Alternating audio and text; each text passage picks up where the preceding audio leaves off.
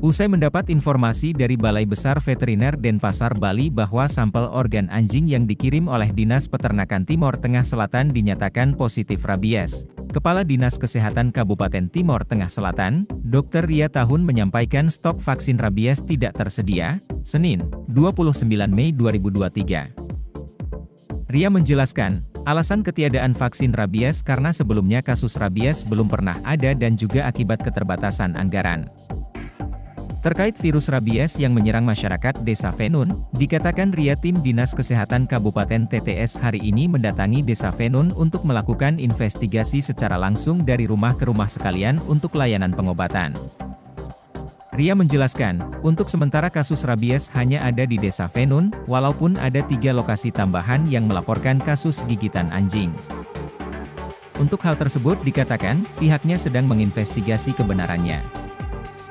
Disampaikan pula sore ini dilakukan vaksin VR dan SAR bagi masyarakat dan nakes di Desa Venun oleh pihak provinsi. Ria menuturkan, rabies terinfeksi melalui gigitan anjing yang terinfeksi, tetapi tidak ditularkan antara manusia dengan manusia. Untuk daratan timur rabies baru ada di TTS sehingga jika ada masyarakat yang membawa hewan dari luar terutama anjing ataupun kucing perlu berkoordinasi dengan pihak dinas peternakan agar dapat diperiksa dulu, tandasnya.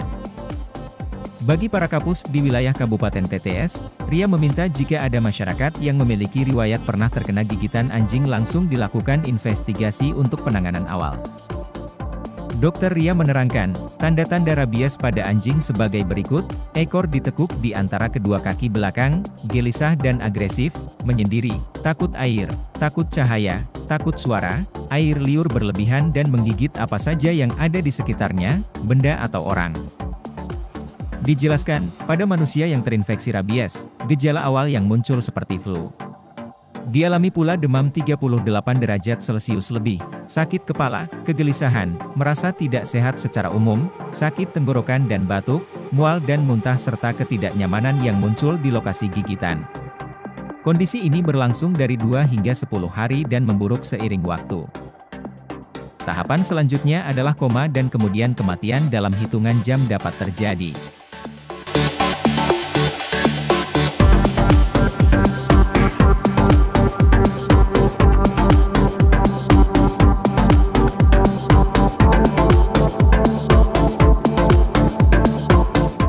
Terima kasih sudah nonton.